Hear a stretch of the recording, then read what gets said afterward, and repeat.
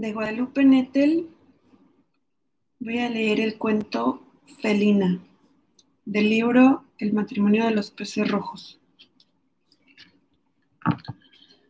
Los vínculos entre los animales y los seres humanos pueden ser tan complejos como aquellos que nos unen a la gente. Hay personas que mantienen con sus mascotas lazos de cordialidad resistida. Los alimentan, los sacan a pasear si es necesario, pero rara vez hablan con ellos si no es para reprimirlos o para educarlos. En cambio, hay quienes convierten a sus tortugas en sus más cercanas confidentes. Cada noche se inclinan ante sus peceras y les cuentan las experiencias que han tenido en el trabajo, el enfrentamiento postergado con su jefe, sus incertidumbres y esperanzas amorosas. Entre los animales domésticos, los perros gozan de una prensa particularmente buena. Se dice incluso que son los mejores amigos del hombre por su fidelidad y su nobleza, palabras que en muchos casos no significan otra cosa más que resistencia al maltrato y al abandono. Los perros son animales generalmente buenos, es cierto, pero también he sabido de algunos que desconocen a, su amo, a sus amos y en un rapto de locura o de hartazgo los atacan, causando un desconcierto similar al que producen las madres que golpean a sus hijos pequeños. Los felinos, en cambio, padecen de una reputación de egoísmo y exceso de independencia. No comparto en absoluto esa opinión. Es verdad que los gatos son menos demandantes que los perros y que su compañía suele ser mucho menos impositiva, a veces casi imperceptible. Sin embargo, sé por experiencia que pueden desarrollar una enorme empatía hacia los seres de su especie, así como hacia sus amos. En realidad, los felinos son animales sumamente versátiles y su carácter cubre desde el ostracismo de la tortuga hasta la omnipresencia del perro. Mi conocimiento de los gatos se remonta a cuando aún acudía a la universidad. Estaba terminando una licenciatura en historia y mi ambición era estudiar un posgrado en el extranjero, de ser posible en una universidad prestigiosa. En aquel entonces alquilaba un departamento amplio y soleado que compartía de cuando en cuando con otros estudiantes y más tarde con dos gatos. Ahora que lo pienso, los compañeros de piso cumplen en ocasiones el papel de las mascotas y el vínculo con ellos es igual de complejo. Dos hombres y una mujer cohabitaron conmigo en ese departamento. El primero estudiaba arquitectura, pero tenía una pasión por los tatuajes y decoró su cuarto, en el que casi nunca abría las cortinas, con coloridos afiches de japoneses desnudos. La mujer era más sociable. Le gustaba invitar amigas a la casa y organizar con con ellas largas sesiones cinéfilas en DVD. Sin embargo, padecía una bulimia inconfesada que hacía injusto el pago compartido de la compra en el supermercado. No soportó que la cuestionara al respecto y el día que, en que me vio obligada a hacerlo decidió cambiar de casa. El tercer inquilino, de temperamento mucho más discreto, iba para médico y pasaba mucho tiempo en el hospital. Como no estaba casi nunca, fue de lejos el mejor. Su estancia duró poco más de seis meses. Luego se marchó a provincia para cumplir con el internado. Los gatos, a diferencia de los inquilinos, fueron una compañía verdadera y estable. Durante mi niñez, varios animales habían circulado por la casa de mis padres. Un conejo, un pastor alemán, un hámster y dos gatos domésticos europeos que nunca se conocieron. Aunque las consideraba mías, las mascotas de mi infancia nunca me supusieron una responsabilidad. A mí solo me correspondía disfrutarlas. Su cuidado estaba a cargo de mis padres. En cambio, los gatos que tuve como estudiante dependían exclusivamente de mí. Desde el momento en que entraron a mi vida, sentí el deber de protegerlos, y fue esa sensación, hasta entonces desconocida, la que me hizo adoptarlos. Aparecieron una mañana de diciembre en la que estaba haciendo un frío inusual. Marisa, mi asesora de tesis, con quien tenía una amistad incipiente, me llamó por teléfono para contarme que los habían encontrado en la calle dentro de una bolsa de plástico, amarrados entre sí por alguien que a todas luces quería verlos muertos. Eran aún dos cachorros, más pequeños de la edad acostumbrada para destetarlos. La historia me conmovió tanto que acepté la propuesta y salí de inmediato a recogerlos. Mi conmiseración por ellos aumentó cuando abrí la caja y los vi maullando afónicamente, temblando aún por la falta tan prolongada de oxígeno. Obsérvalos bien, me aconsejó mi asesora. Puede que hayan sufrido lesiones en el cerebro. No estaría mal que los llevaras al veterinario. Eso fue lo que hice. Llevé a los gatitos a la clínica que me recomendó y ahí me enteré de su sexo y edad aproximada. Eran macho y hembra. Él de color negro como los gatos de mal agüero, con unas manchitas blancas entre la nariz y los bigotes. Ella rayada, un poco rubia, de estatura bastante pequeña y de complexión delgada. Un poeta y una actriz, me dije. Decidí llamarlos Milton y Greta. Después, conforme pasaron los meses, cuando ya recuperados comenzaron a desplegar toda su personalidad, supe que esos nombres no podían quedarles mejor. El macho reveló un temperamento huraño, pero también una generosidad increíble, y la hembra actitudes de diva consciente de su belleza. Los primeros días que pasaron en mi casa apenas tuve oportunidad de verlos. En cuanto llegamos y los saqué de la caja, corrieron a esconderse detrás del refrigerador, cuyo ruido, supongo, les recordaba el ronroneo de su madre. En vez de intentar un contacto forzado con ellos, me limité a dejarles dos platos, con leche y comida, para que se alimentaran cuando estuvieran solos y se sintieran a salvo. Pasadas dos semanas, los gatos no solo habían salido ya del escondite, sino que se habían apropiado del departamento. Hacía varios meses que no compartía casa con nadie, y la compañía de esos dos cachorritos me cayó de maravilla. Desde mi escritorio, situado en un rincón de la sala, los observaba saltar de mueble en mueble, subirse a la mesa de centro y a la del comedor con una agilidad asombrosa, o descansar apaciblemente en el suelo debajo de un rayo de sol. A Milton le gustaba acercárseme cuando estaba trabajando. Mientras tecleaba en la computadora los capítulos de mi tesis, se acurrucaba a mis pies y se quedaba dormido. Greta, en cambio, prefería las caricias largas y pausadas, sin que me ocupara de ninguna otra cosa más que de ella. Maullaba para exigirlas cada vez que regresaba a casa después de alguna salida a la biblioteca o al cine.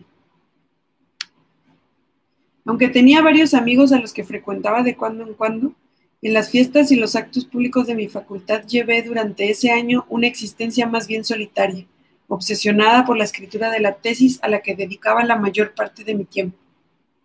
Tampoco tenía pareja, los tres primeros años de la carrera había mantenido una relación estable con un chico de la facultad y desde entonces ninguno me había gustado lo suficiente como para acostarme con él más de una o dos veces, por soledad más que por otra cosa, casi siempre en estados etílicos y a altas horas de la madrugada. La presencia de los gatos palió considerablemente esa necesidad de afecto. Los tres éramos un equipo. Yo aportaba una energía pausada y maternal. Greta la agilidad y la coquetería, y Milton la fortaleza masculina. Era tan, agradable el equilibrio instaurado entre nosotros que lo pensé mucho antes de seleccionar un compañero de piso con quien compartir los gastos del departamento. Seguí haciendo entrevistas cada vez que aparecía un nuevo candidato, pero no acepté ninguno por miedo a que el intruso cambiara el ambiente que había dentro de la casa. Los gatos tampoco veían con buenos ojos la presencia de una cuarta persona. Conscientes de mis intenciones, vaya a saber cómo, se comportaban con hostilidad visible hacia ellos. Si se trataba de una chica, Greta le mostraba los colmillos y erizaba cada pelo de su cuerpo. Si por el contrario el candidato era varón, Milton no tenía ningún recato en marcar su territorio orinando los zapatos del estudiante interesado. Por fortuna, la beca de estudios de la que disfrutaba en aquel momento era suficiente para asumir los gastos. El desarrollo animal es más veloz que el de los seres humanos. Durante el año que pasé con los gatos seguí siendo prácticamente la misma. Ellos, en cambio, cambiaron considerablemente. De ser dos cachorros escuálidos y asustadizos, se convirtieron en adolescentes y luego en dos adultos jóvenes, en la plenitud de su belleza. Las hormonas empezaron a dominarlos de la misma manera en que lo hacían conmigo durante los periodos menstruales. Milton tenía el imperativo de orinar en las esquinas y las plantas del departamento y Greta atravesó su primer celo con muy poca discreción. Maullaba con tonos agudos y enloquecedores, levantaba la cola y se frotaba la vulva contra cualquier ángulo que encontrara en los muebles de la casa. Verla así me causaba estupor y pena. Tanto su deseo como su insatisfacción eran apabullantes. A diferencia de mis periodos que duraban alrededor de cinco días, el de Greta parecía no terminarse jamás. Si yo no era indiferente a su estado, mucho menos lo era Milton. Giraba alrededor de ella y la perseguía constantemente, tratando de encaramarse en su lomo para calmar de una vez por todas tanta frustración. Sin embargo, ella respondía a sus embates con un rechazo brutal que nos hacía sufrir a todos. Las culturas que creen en la reencarnación consideran casi siempre un premio nacer entre las filas del sexo masculino y una condición desventajosa reencarnarse entre las del femenino. Ver a Greta, habitualmente tan digna, dominada de esa manera por las hormonas de la reproducción, me hizo pensar que aquella teoría, a primera vista misógina y primitiva, no era tan descabellada. Fue entonces cuando me decidí a llevar a mi gata al veterinario. Quería ver si era posible aliviarla y quizás administrarle algún anticonceptivo para que pudiera pasearse sin restricciones por los tejados del barrio. Sin embargo, lo que el médico me propuso como remedio a todos los males y peligros que corría mi mascota me pareció de una crueldad exagerada. Según él, lo más conveniente era extirparle los ovarios, sin más trámites, antes de que siguiera creciendo. ¿Y dejarla para siempre estéril? Pregunté, horrorizada. ¿Para eso estudió usted veterinaria? El hombre guardó un silencio culposo mientras yo miraba a mi gata, indefensa, en la camilla. Me dije que ninguno de los dos éramos nadie para elegir por ella. Tenía derecho a ser madre por lo menos una vez. ¿Qué otra misión, me pregunté, puede haber en la vida de los animales si no reproducirse? Quitarle los ovarios era dejarla sin la oportunidad de cumplirla.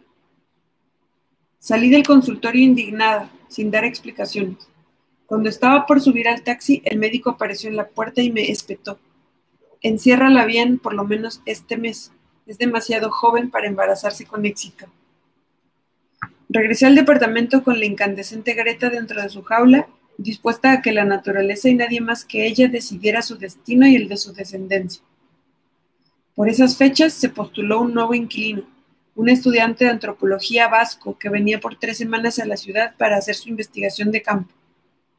Extrañamente, supongo que trastornados aún por la exaltación de Greta, la tarde en que lo cité para conocer el departamento, ninguno de los gatos le demostró hostilidad. Me dije que tres semanas no implicaban un riesgo para nuestra convivencia y sí un dinero extra que me venía perfecto en vísperas de vacaciones. Así que el vasco se instaló al día siguiente en la habitación destinada a esos efectos. Ander, así se llamaba, era un chico de barba cerrada y ojos azules, más bien retraído, que rara vez se hacía notar y dedicaba la mayor parte de su tiempo a estudiar en la biblioteca central.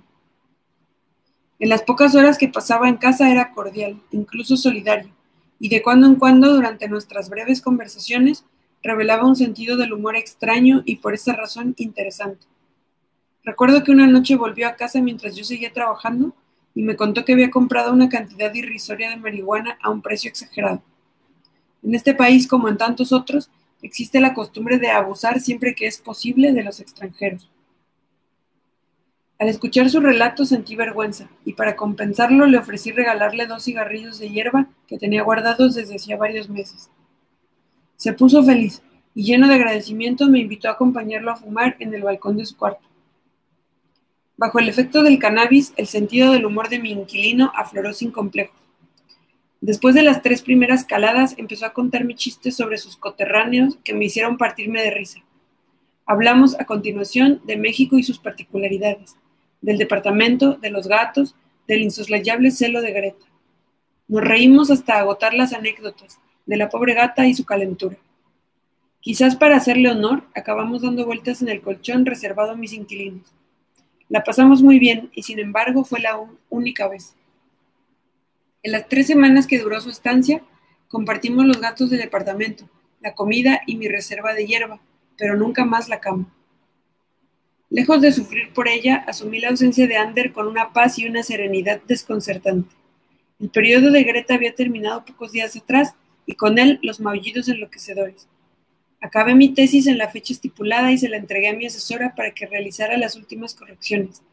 También respondí a la convocatoria de varias universidades extranjeras con posgrados en historia y empecé a planear mis vacaciones en alguna playa del Pacífico en espera del examen profesional. Fue en esos días cuando empecé a notar cambios muy evidentes en el cuerpo de mi gata, cambios que quizás, de haber estado menos ocupada, habría detectado antes. Ya no saltaba con la misma ligereza, sus tetillas antes diminutas ganaron volumen, y el torso se le ensanchó considerablemente. Asumí la noticia de su preñez con cierta alegría por ella, pero también con un poco de preocupación por la advertencia del veterinario. Sin embargo, el entusiasmo se impuso sobre lo demás. Probablemente en pocos meses tendría el departamento lleno de gatitos juguetones. Vacié el cajón de mi cómoda más cercano al suelo y preparé cuidadosamente un espacio mullido para recibirlos. Greta estaba conmigo más dócil y cariñosa que nunca, y aceptaba con agradecimiento todas mis caricias y atenciones. Pero la felicidad no duró mucho. Quince días después de que se fuera Ander, mi menstruación no se presentó cuando debía y tampoco tiempo después, como esperaba ingenuamente. Me hice una prueba casera de embarazo mientras rezaba sentada en el excusado para que saliera negativo. Sin embargo, el óvalo blanco se tiñó con dos líneas, confirmando mis temores. En el transcurso de unos cuantos minutos, el estado alegre y enternecido que había mantenido hasta entonces por el embarazo de Greta se convirtió en una pesadilla. No tenía la más remota idea de lo que era conveniente hacer ni siquiera de mis deseos más genuinos. Pasé una semana en estado de shock, preguntándome si debía pedir consejo o tomar una decisión por mí mismo. Si era prudente informar a Ander, con quien apenas había tenido contacto en las últimas semanas, preguntándome sobre todo si quería y podía asumir la maternidad en ese momento. De hacerlo, lo más probable es que mi hijo careciera de un padre. La extranjería de Ander, que en un principio me había producido alivio y facilitado tanto el acercamiento como la distancia, ahora complicaba las cosas aún más. Lo conocía muy poco. Apenas me era posible decir qué clase de persona era. Pero qué clase de persona era yo mismo. Las respuestas que me venían a la mente no resultaban halagadoras. Siempre me ha costado decidir. Descartar varias alternativas en favor de otras es algo que me causa problemas hasta en las circunstancias más intrascendentes. En aquel momento esa característica mía tan molesta cobró dimensiones desproporcionadas. Mientras observaba a Greta moviéndose con dificultad por el suelo de madera, paladeé todas las formas de la impotencia. Como el suyo, mi cuerpo cambiaba vertiginosamente. El sueño, pero sobre todo las náuseas, me incapacitaban para cualquier actividad, más allá de las elementales. Bañarme, ir al supermercado, sentarme a comer, alimentar a los gatos. El resto del tiempo lo pasaba en cama acompañada por Milton, que no cesaba de ronronearme en el oído. Fueron días muy confusos. Cada vez que por mi conciencia, perdón, cada vez que por fin mi conciencia parecía esclarecerse y asomaba cualquier atisbo de decisión, ese impulso era aplastado por una inmensa culpa. Una mañana, antes de lo que había imaginado, apareció un sobre con el membrete de Princeton por debajo de la puerta. Al abrir la carta supe que no solo me habían seleccionado, sino que era candidata a una muy buena beca. En vez de ponerme feliz, la noticia aumentó la presión que tenía sobre los hombros. Me vestí de prisa y llevé la carta al cubículo de mi asesora para explicarle. Marisa se asombró de mi aspecto. Mira nada más esas ojeras, me dijo riéndose. Te llegó una carta de Princeton, no una sentencia de muerte. Le conté lo que me sucedía. Escuchó mi explicación y mis sollozos sin decir nada, y una vez que terminé de hablar me recomendó tomar el tiempo que hiciera falta antes de decidir qué hacer.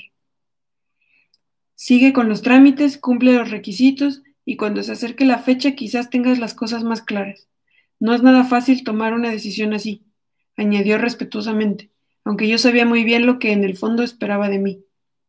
Antes de que abandonara su escritorio me extendió un papel con los datos de su ginecólogo.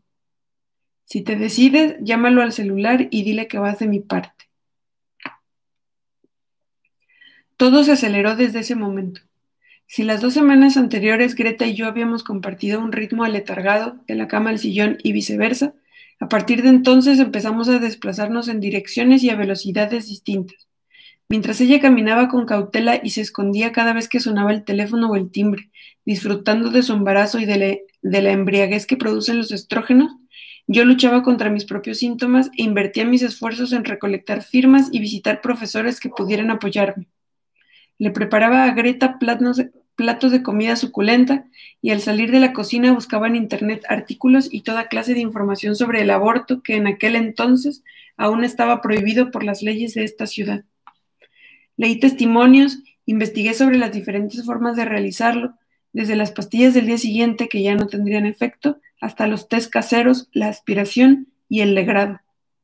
Una tarde reuní valor y llamé al ginecólogo de mi asesora. Le expliqué la situación y le pedí una cita. El médico se portó muy amable y me recibió ese mismo día, haciéndome un espacio entre dos pacientes. Recuerdo que su consultorio estaba en la planta decimocuarta de una torre altísima en la que no había piso 13. Todo era blanco y excesivamente aséptico. La melodía relajante del hilo musical solo consiguió empeorar mis nervios. Me costó trabajo esperar mi turno y no salir huyendo hacia la calle, pero lo hice. Una vez adentro dejé que la enfermera me hiciese el examen de rutina, peso, medidas, presión arterial.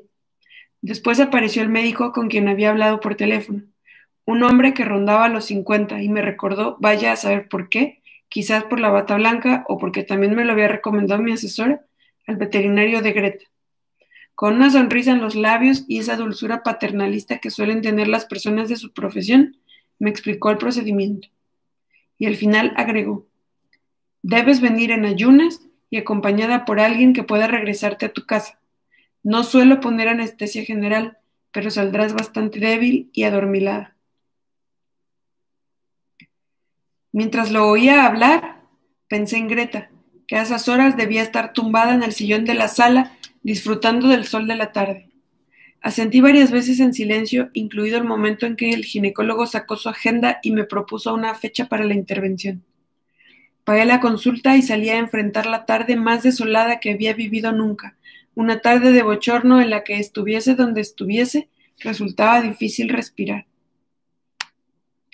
Al llegar a casa, me encontré con Greta en el quicio de la puerta, esperando su acostumbrada sesión de mimos. Esta vez dejó que le acariciara la panza, ya considerablemente hinchada. Al hacerlo me pregunté si yo también tenía alguna misión en la vida. No llegué a ninguna respuesta. Esa noche llamé a mi asesora para contarle la visita a su médico y que a pesar de su amabilidad y buena disposición había decidido prescindir de sus servicios. No iría a Princeton. Tampoco pensaba seguir con los trámites para la beca ni ocuparme de ninguna otra cosa que no fuera mi embarazo. Después en septiembre quizás comenzaría un doctorado, pero aquí, en la misma universidad en la que estaba inscrita. Sin embargo, esa noche el teléfono de Marisa sonó una y otra vez sin que nadie respondiera. No tuve más opción que dejarle un mensaje escueto en el contestador pidiendo que me devolviera la llamada. El viernes Greta amaneció un poco descompuesta. Tenía los ojos tristes y las orejas abajo. Se acurrucó en el cajón que le había preparado a sus gatitos y no se movió de ahí salvo para hacer uso de su arena. Hice cálculos.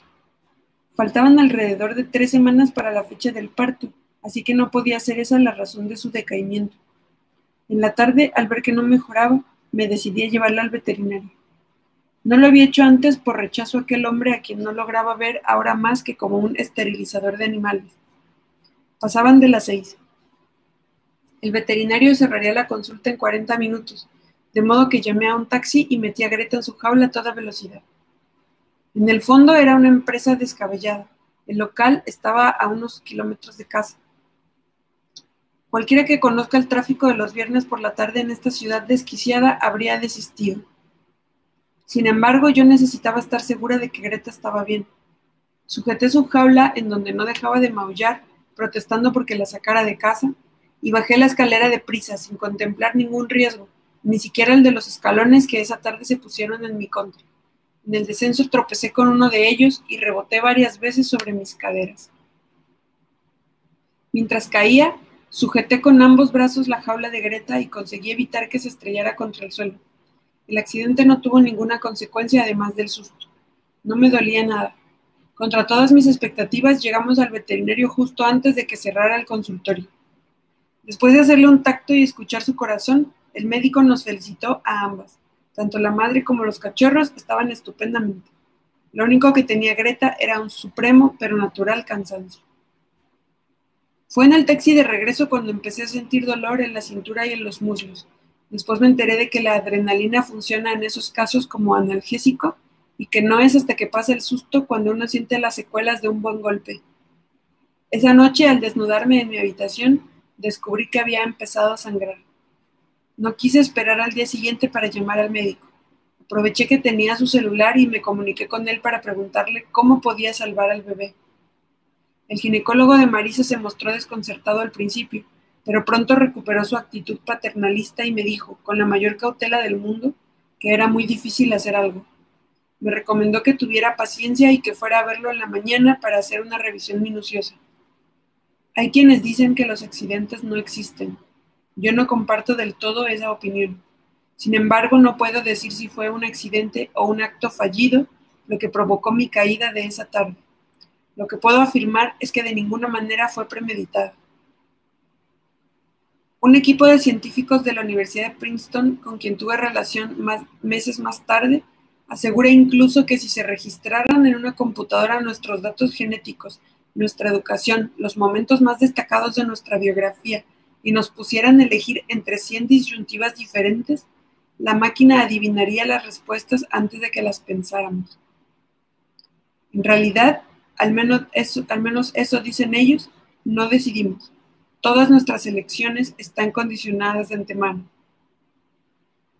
Sin embargo, en aquella ocasión, y no sé si me gustaría, perdón, sin embargo, en aquella ocasión yo no tuve oportunidad de hacerlo, y no sé si me gustaría saber lo que la computadora en cuestión habría dicho al respecto. Al día siguiente acudí al consultorio a primera hora dejando de lado una cantidad considerable de compromisos. El ginecólogo me revisó, como había dicho, y confirmó el diagnóstico que me había dado por la noche. No había nada que hacer. Tienes suerte de que haya sido tan pronto, me dijo con un optimismo que yo no comprendía. No tendremos que rasparte el útero para eliminar los residuos. Salí de ahí desconsolada, como si nunca hubiera tenido dudas respecto de aquel embarazo. Lejos de mejorarse, mi ánimo no dejó de empeorar desde aquel momento. La realidad me parecía un agujero negro en el que no cabía ninguna posibilidad entusiasmante del futuro. Mi asesora de tesis, quien mantuvo conmigo una actitud de lo más solidaria, me aseguró en más de una ocasión que mi tristeza insondable se debía a un cambio brutal en mi producción de hormonas. Era posible, pero saberlo no cambiaba nada. Finalmente, me gustara o no, yo también era un animal y tanto mi cuerpo como mi mente reaccionaban a la pérdida de mi descendencia de la misma manera en que lo habría hecho Greta si hubiese perdido a sus gatitos. Es verdad que ya no sufría el estrés de antes, cuando el rumbo de las cosas aún estaba en mis manos, pero la acumulación de las tensiones previas, aunadas a la tristeza que sentía, me sumergieron en un estado depresivo en el que ni siquiera me resultaba posible llevar la rutina básica de antes. Dejé de bañarme, de comer y, por supuesto, de pensar en mis estudios. A partir de ese momento, Greta adquirió la costumbre de ponerse en mi regazo a todas horas, como si instintivamente intentara cubrir con su cuerpo la ausencia del bebé que antes llevaba en el vientre. Esa actitud me provocaba un fuerte rechazo. Su ronroneo me aturdía y terminaba por echarla al suelo. Pero mi gata, lejos de amedrentarse, al cabo de unos minutos volvía a recostarse arriba de mí.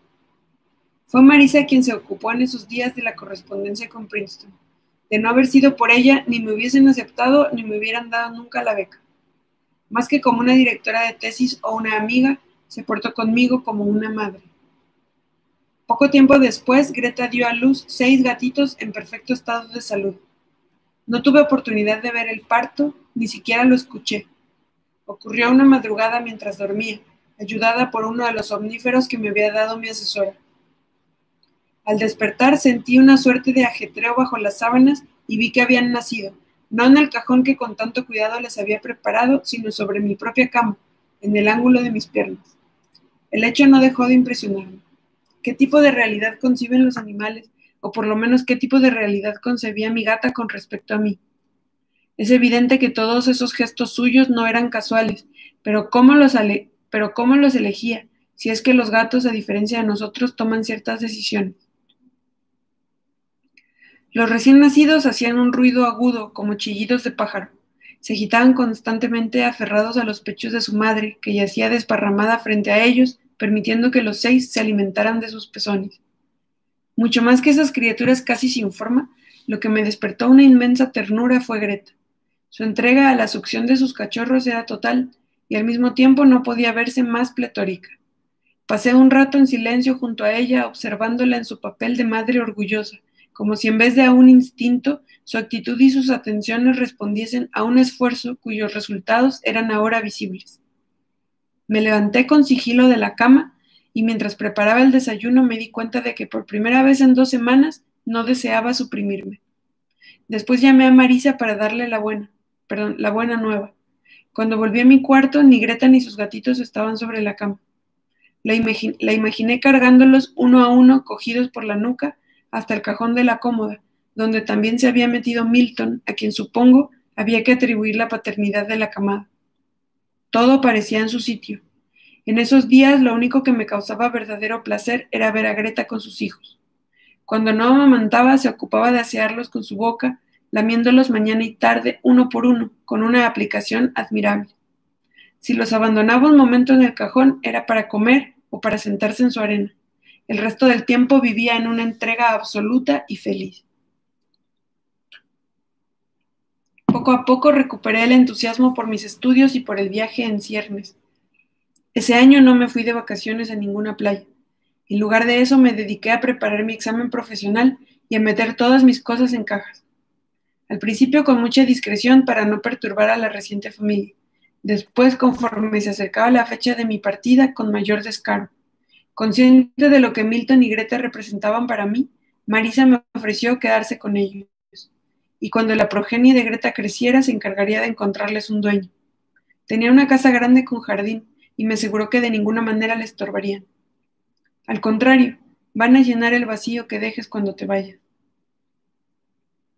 Estaba convencida de que los gatos no podían quedar en mejores manos Aún así, le aseguré que sería por un tiempo breve, pues pensaba venir a buscarlos en cuanto estuviera instalada en Princeton. Llegó la fecha del examen profesional y lo presenté sin nerviosismo. Mis notas fueron tan altas como esperábamos. Avisé a mi arrendadora que dejaba el departamento. Cuando ya tenía todos mis libros en cajas, comencé a preparar mis maletas y a guardar o regalar la ropa que no me llevaría. La gente entraba y salía para comprar o llevarse cosas. Armaban bolsas con libros o con parte de la vajilla. La mudanza se fue apoderando del departamento con un ritmo cada vez más frenético, como un fenómeno ajeno a mi voluntad. Los hijos de Greta corrían por todas partes, trepándose a las cajas, a las montañas de libros y a los muebles de la sala. Lo único que seguía en su sitio era el cajón de la cómoda, mullido y acogedor como el último bastión de una época que estaba por terminarse y en el que con frecuencia tenía ganas de esconderme. Ahí dentro, donde los ocho dormían cada vez más apretados, nadie parecía inmutarse por el cambio. Pero era solo una apariencia. Había acordado con Marisa que vendría a recoger a los gatos dos días antes de mi partida y un día antes de que el camión de mudanza se llevara los muebles. No recuerdo exactamente si lo hablamos en su cubículo o en alguna llamada telefónica, pero una cosa es segura, los gatos lo comprendieron. La tarde anterior, cuando volví a casa después de una jornada extenuante de burocracia universitaria, Noté que ya no estaban. Los busqué por todo el departamento y también busqué la manera en que habían salido de este. Lo único que logré constatar fue que la puerta del balcón estaba abierta. No puedo describir la desolación que sentí. Ni siquiera habíamos tenido oportunidad de despedirnos. Los gatos sí que deciden, recuerdo que pensé. Me sentí una estúpida por no haberme dado cuenta. Fin.